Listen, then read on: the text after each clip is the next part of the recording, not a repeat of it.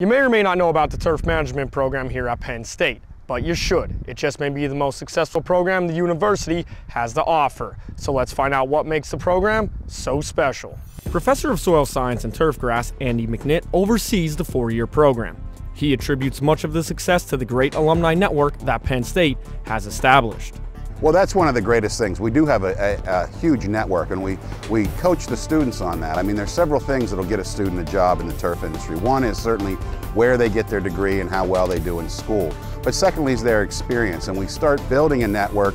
Uh, first their, their fellow students or their beginning network and then their professors and then every time they go out on an internship they continue to build a, a large network and certainly Penn State has one of the largest networks uh, in the world as far as Penn State, as far as turfgrass students go.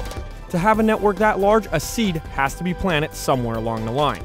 And for Penn State, that seed was planted a long time ago at one of America's premier golf courses. Penn State's one of the oldest and certainly the largest uh, educational turf program in the United States. It started in 1929.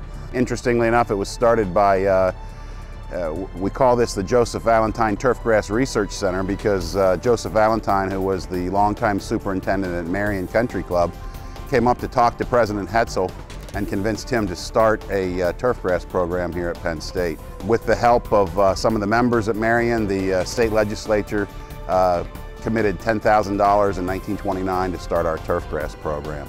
Then in 1955, Penn State became the first institution to offer formal education to golf course superintendents. The rest is pretty much history, as Penn State has become a leader in the turf management world. We have a great relationship with the industry.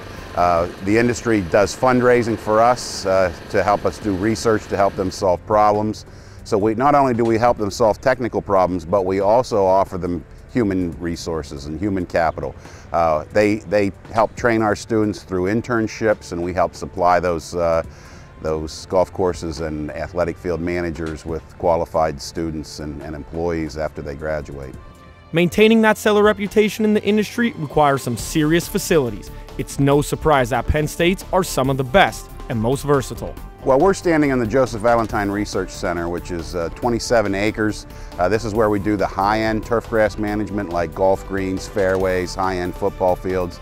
We also have the Landscape Management Research Center. At the Landscape Management Research Center is uh, where we do sort of lower maintenance turf. We also do environmental impact there with uh, things like pesticide and fertilizer runoff and leaching through the soils. And we also uh, work with PennDOT there and have a program where we look at roadside turf. When you have alumni superintendents host the Masters, US Open, and PGA Championship, you're bound to receive some accolades. But Penn State has plenty of success when it comes to athletic fields as well. We were fortunate to, uh, to have a Penn State alumni, Bill Deacon, host the uh, Major League Baseball All-Star Game at Citi Field for the Mets. Currently, we have five head groundskeepers in the NFL and many, many assistants uh, and similar kind of numbers in, in Major League Baseball and certainly in, in golf.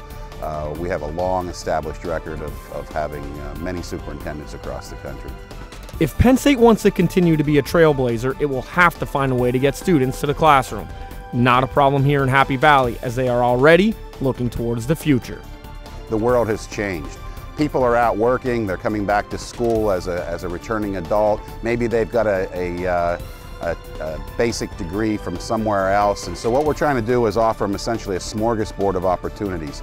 We have um, three certificate programs, two online, a basic certificate and an advanced certificate that you can get completely online. We also have our resident two-year golf turf management program, which is the sort of the gold standard. It was the one that got Penn State started in 1955. We also then have a two-year associate degree. We have a four-year degree, both of which you can get residently or online, and we even have a Master's of Professional Studies that you can get online. That's as great a story as there is right now. 100% job placement and three different options for coursework. Can it get any better for a student? For the center of it all, I'm Andrew Kalista.